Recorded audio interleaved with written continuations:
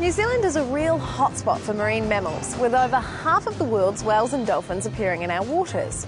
And while we're lucky to see so many marine mammals around our coastline, the downside is that sometimes they can strand and they need our help to rescue them, which is where Project Jonah comes in.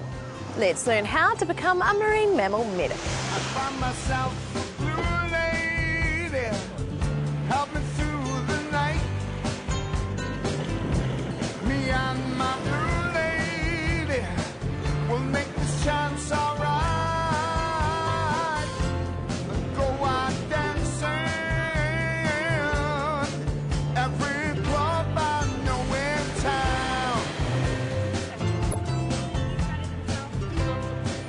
Project Jonah are running a whale rescue training course. It's a one day course where we teach people the basic skills of whale rescue. Project Jonah is a charity and we're voluntary based, so we're made up of a whole raft of volunteers from around the country. All our medics, marine mammal medics, are volunteers. They give up their time for free. Why is it important for the community in New Zealand to understand about whale stranding? Well, New Zealand has the highest stranding rate in the world, so it's really important that we have people trained up around the country so that they know what to do if a stranding happens. It's really easy to do the wrong thing if a whale or dolphin strands. So what we do is give people the basic skills so that they can take the right action as opposed to the wrong action. Why does New Zealand have such a high incidence of whale or dolphin strandings? It's not an easy question. There's, there's lots and lots of reasons. It's a lot to do with our topography. New Zealand spreads um, over two main ocean groups. You've got the um, subantarctic in the south and um, the subtropical in the north. So you've got whales migrating past New Zealand um, the whole time.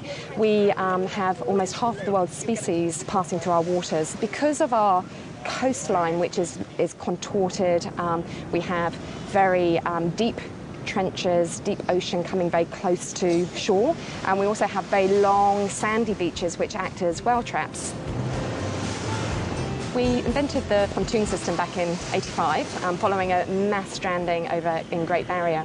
It's a very simple technology. It's basically two pontoons and a mat which we use underneath the whale. We inflate the pontoons and it means we can float a two-ton animal in knee-high water very, very quickly. Lots of different countries have picked up on the technology that we developed. So the pontoons are being used around the world in the UK, um, Australia, the States, um, in Fiji.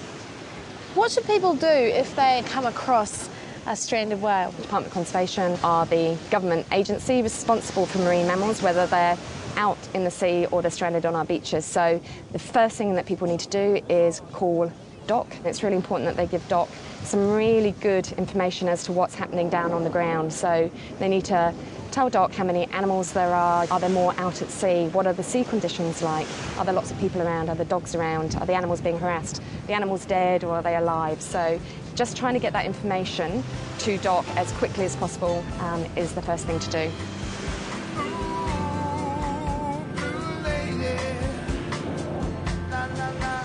Although Lionel here isn't in any real trouble, knowing what to do in a stranding can mean the difference between life and death for our marine mammals. And successful rescue depends on properly trained volunteers.